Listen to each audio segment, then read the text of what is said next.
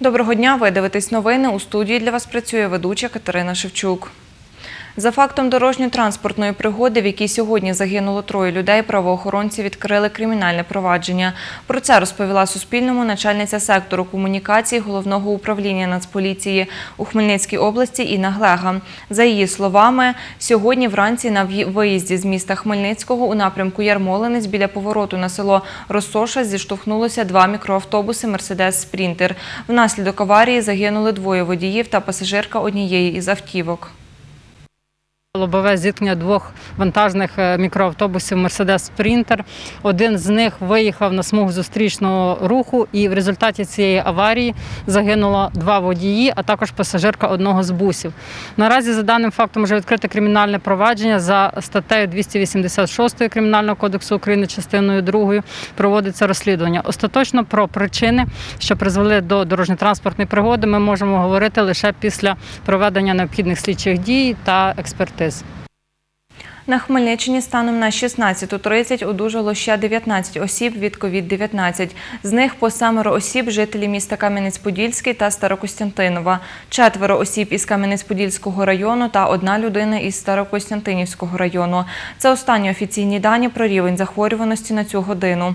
Про це Суспільному розповіла директорка Департаменту інформаційної діяльності Інна Михайлова із посиланням на інформацію обласного штабу з ліквідації надзвичайної ситуації. За її словами, в області офіційно зареєстрованих 525 випадків на COVID-19. З них 375 осіб одужало. Від початку пандемії всього в області зареєстровано 14 летальних випадків. Нагадаємо, вчора станом на цю годину на Хмельниччині було лабораторно підтверджено 520 випадків COVID-19. У Державному архіві Хмельницької області розпочали збирати документи щодо пандемії COVID-19.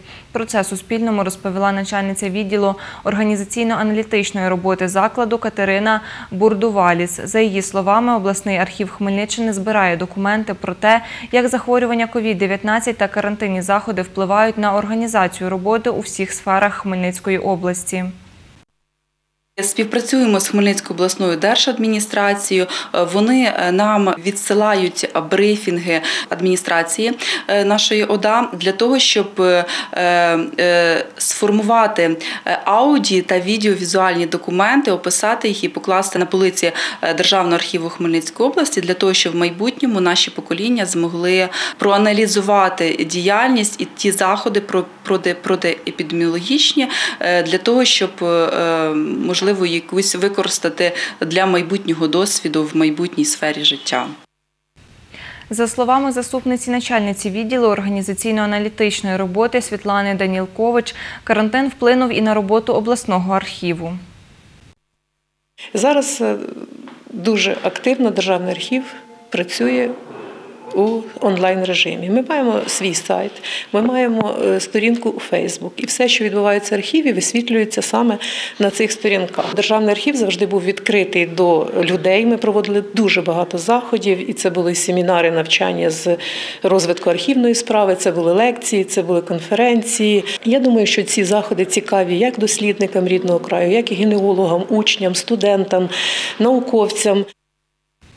30 громадян скористалися послугою ID-14 від старту програми 28 травня на Хмельниччині.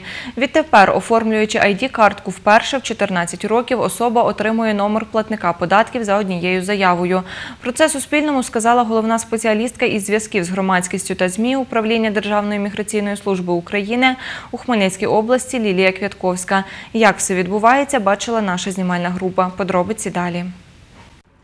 Хмельничанка Маргарита сьогодні вперше оформлювала паспорт громадянки України. Дівчина скористалася новою послугою ID-14. Я не сама е, мені допомагала мама. Я прийшла, трошки затікала в черзі, мене запросили, зробили певні записи. Оформлення документів займає від 10 до 15 хвилин, розповідає головна спеціалістка Хмельницького районного відділу Державної міграційної служби України Ірина Земляк. Додає, при собі потрібно мати оригінали документів, свідоцтво про народження, довідку про місце реєстрації та паспорт батьків. Людина подає документи, ми набираємо її всі дані, фотографуємо, знімаємо відбитки пальців, а потім надсилаємо запит на податкову і автоматично приходить код. Від початку дії послуги ID 14 особа, яка досягла 14-річного віку, одночасно разом із оформленням ID-картки отримує номер платника податків, каже головна спеціалістка із зв'язків з громадськістю та ЗМІ управління Державної міграційної служби України в Хмельницькій області Лілія Квятковська. Ця послуга в нас є, е, скажімо так, абсолютно новою. Вона надається громадянам, які досягли 14 років та вирішили оформити паспорт громадянина України вперше. Ця функція надається за бажанням особи. Вона є абсолютно безкоштовною. Лілія Квятковська додає, у нової послуги є переваги, такі як заощадження часу. Це економить час для того, щоб вони стояти в чергах е, в інших державних органах. І по-друге, звичайно, в разі, наприклад, якщо е, ну, машинально збиралися і, наприклад, забули той самий ідентифікаційний код вдома, вже є можливість оформити тут на місці. Відмінність полягала в тому, що, наприклад, коли особа приходила і подавала документи, то в неї вже за бажанням, в принципі, за можливості, якщо це не були якісь релігійні переконання, так вона вже з собою змушена була приносити ідентифікаційний код ще на паперовому бланку.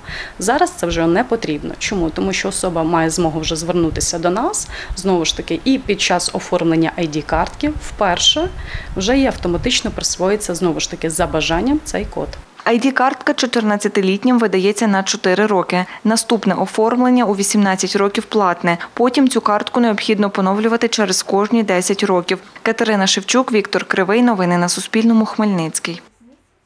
Це остання інформація цього випуску. Більше дивіться на нашому офіційному сайті та на сторінці у Фейсбук. Побачимось.